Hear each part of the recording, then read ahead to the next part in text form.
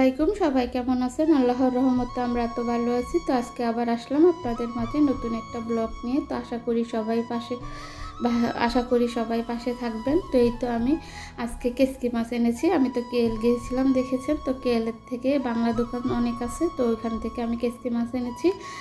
তো এই কেসকি মাছগুলা খেতে খুবই মজা হয়েছিল আর অনেক সুন্দর, একদম ফ্রেশ ছিল। কোনো ময়লা ছিল না। তারপর আমি এগুলো বেছে নিয়েছি, বেছে তারপরে সুন্দর করে ধুয়ে পরিষ্কার করে নিয়েছি। তো এখন আমি রান্না করার জন্য কড়াইতে সব রকমের মশলা দিয়ে দিয়েছি। তো এখানে যে আফিফের জন্য খিচুড়ি রান্না করতেছি। তো এখন সব রকমের মশলা দিয়ে তারপরে আমি মাছটা দিয়ে কষিয়ে নিতেছি। সাথে টমেটো দিয়ে দিয়েছি। তো দিয়ে এখন মাছটা আমি ভালো করে কষিয়ে নিতেছি। তো কষিয়ে তারপরে আমি জল দিয়ে দেবো, দিয়ে রান্না করে নেব। এই তো এখানে আমি লাল শাক রান্না করে নিয়েছি। তো এই লাল শাকটা আমি কেয়াল থেকে নিয়ে আসছি। তো এই তো আমি এখন পানি দিয়ে দিয়েছি।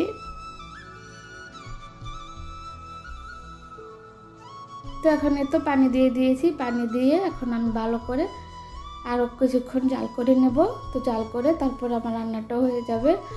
তো এই কেসকি মাছটা খেতে খুবই মজা হয়েছিল, অসাধারণ হয়েছিল। আর অনেক দিন পরে কেসকি মাছ খেয়েছি তো খুবই ভালো লেগেছে। আর আমার, আমরা যেখানে থাকি এখানে বাংলা দেশে বাজার পাওয়াই যায় না প্রায়। তো মাঝে মাঝে কিছু পাই বারমারা নিয়ে আসে। তো এই তো আমার রান্নাটা হয়ে গেছে, দেখেন রান্নাটা খুবই সুন্দর হয়েছে আর খেতেও খুবই মজা হয়েছিল, অসাধারণ হয়েছিল এই কিসকি মাছ রান্নাটা। আর খেতে খুবই ভালো লেগেছে। আর যেহেতু আমরা এখানে এগুলো পাই না অনেক দিন পরে পেয়েছি, তাও কেলে গিয়েছিলাম, সেখান থেকে নিয়েছি, নিয়ে এসছি। তো এখান থেকে বাংলা বাজার দেশি বাংলাদেশি বাজার আরও অনেক কিছুই নিয়ে এসেছি। তো ওগুলো শেয়ার করা হয়নি। তো এখন এই রান্নাটা শেয়ার করলাম। তো খুবই মজা হয়েছিল, তার জন্য শেয়ার করেছি। তো এখানে কেসকি মাছ রান্নাটাও শেয়ার করে দিলাম।